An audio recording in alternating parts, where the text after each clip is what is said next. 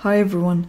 If you are new to Spyder and you ran the program and you came across a message like this when Python tries to load um, some modules and you don't want to see this or you want to disable this uh, user module reloader, you can do that by going to Tools, Preferences, and then click on Python Interpreter and disable this option.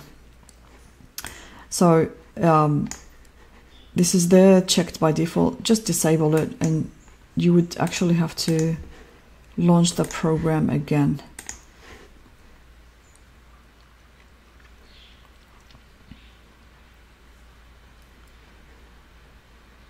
Okay, so now when I try to run the program, I don't get that message anymore. That's it. Thank you. I'll see you in the next one.